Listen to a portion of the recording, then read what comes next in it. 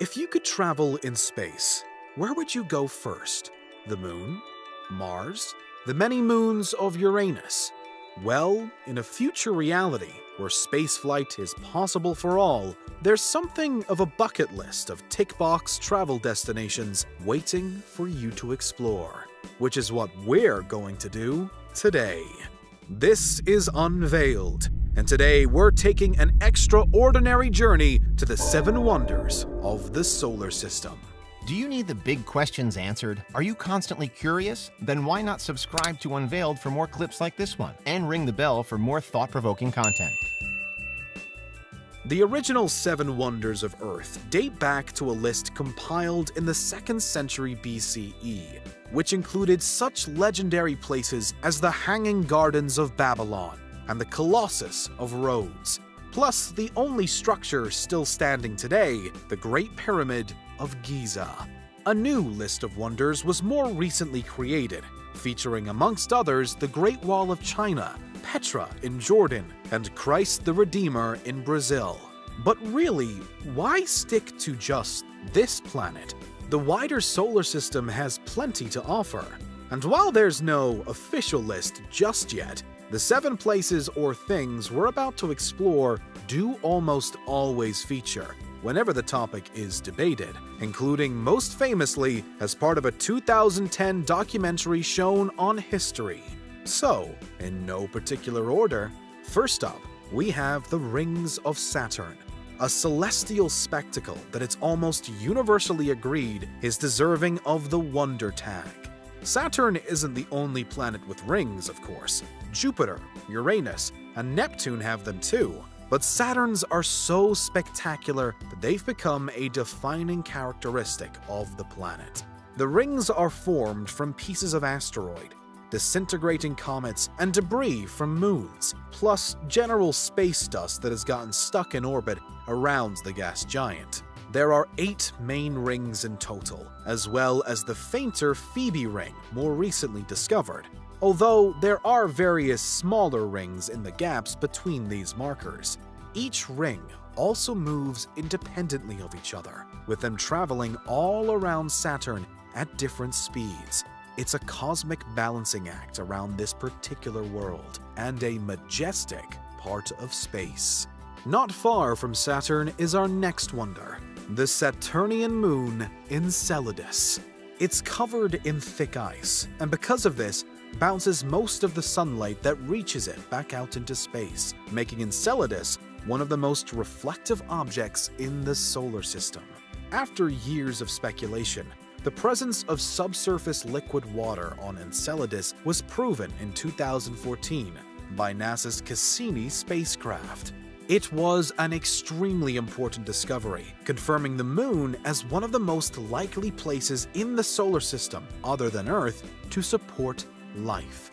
Enceladus also has a role in forming the rings of Saturn, specifically the E ring, thanks to eruptions from the ice volcanoes or geysers on its surface. These volcanoes shoot out water vapor and ice particles with such incredible force that they've essentially fed the E ring into being, while some of the erupted material falls back to Enceladus as snow. Much of what we know about Enceladus so far does come from the Cassini probe, but it's a sure bet that this moon will continue to be a key solar system location for us in the future. Saturn's neighbor, Jupiter, is home to our next wonder, the Great Red Spot. This is the largest storm in the solar system, with a diameter far larger than even Earth's is. The Great Red Spot is visible to us with a sharp enough telescope. But what makes it truly amazing isn't simply its size, it's also the fact that scientists have been watching it rage non-stop for close to 200 years now. And most researchers think it's been a feature on Jupiter for even longer than that. Massive clouds inside the spot create destructive cyclones and hurricanes, stretching for more than 10,000 miles across the Jovian surface and penetrating some 300 miles down into the atmosphere. This storm is so strong that its power can be felt from space itself, as its gravitational pull reportedly affected the flight path of the Juno probe when it passed Jupiter in 2019.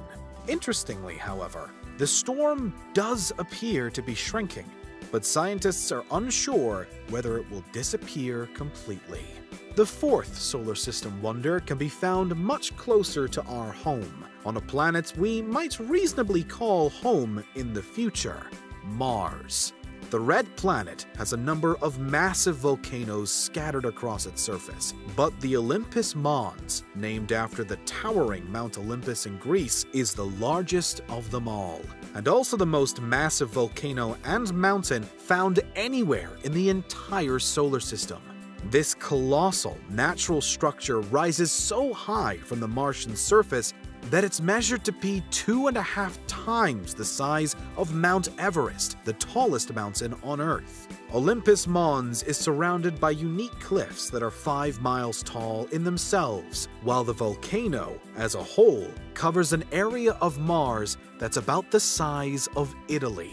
It's just a staggering landmark. The leading theory as to how it's been able to grow so big is that because Mars doesn't have plate tectonics, lava has just continually erupted from the same spot over and over again. And that lava has been solidified into rock, layering on top of itself, getting taller and taller. What's more, some believe that Olympus Mons is still young and could still be active, meaning it may grow to an even larger size in the future.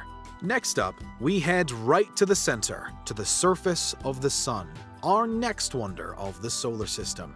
And for plenty of reasons. For one, the Sun provides all of the light for the solar system, and without it, everything would just be dark. It also dictates the gravity that keeps everything in orbit, and it provides the general energy for life on Earth to exist too. The Sun is so massive that it takes up 99% of the solar system's total mass, and for its surface especially though, one layer of it, the photosphere, is around 300 miles thick. It's also so hot at around 10,000 degrees Fahrenheit, 5,500 degrees Celsius, that according to NASA, it wouldn't just melt diamond, it would actually boil it.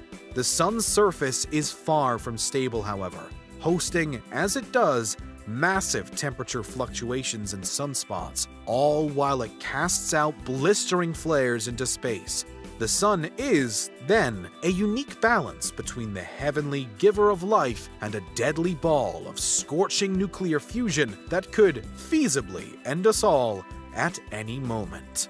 But onto our penultimate wonder now the asteroid belt. It, too, could feasibly cause a disaster for us, but scientists are fairly sure we're safe from harm. Found between Mars and Jupiter, the asteroid belt cumulatively accounts for very little mass, but it's interesting because it works something like a waste bin for solar system things that might have been. The belt is thought to contain the remnants of some long gone moons and possibly planets that broke apart over a 4.5 billion year history. The largest asteroid belt object, though, is the dwarf planet Ceres. One reason why the belt can be considered a wonder is perhaps the specific conditions needed for it to form at all.